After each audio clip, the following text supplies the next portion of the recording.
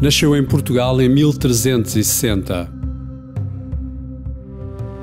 É também conhecido como o Santo Contestável, Beato Nuno de Santa Maria, hoje São Nuno de Santa Maria ou simplesmente Nuno Álvares. Foi nobre e guerreiro português que desempenhou um papel fundamental na crise de 1383-85, onde Portugal jogou a sua independência contra Castela. No decorrer de uma batalha, quando já se temia o pior, o seu escudeiro foi encontrá-lo em êxtase, ajoelhado a rezar entre dois penedos. Quando acabou de rezar, ergueu-se com o rosto iluminado e, dando as suas ordens, conseguiu que se ganhasse a batalha de uma forma considerada milagrosa. Camões, em sentido literal ou alegórico, explícito ou implícito, faz referência ao nada menos que 14 vezes em Os Lusíadas, chamando-lhe o Forte Nuno. São Nuno foi canonizado pelo Papa Bento XVI em 26 de abril de 2009.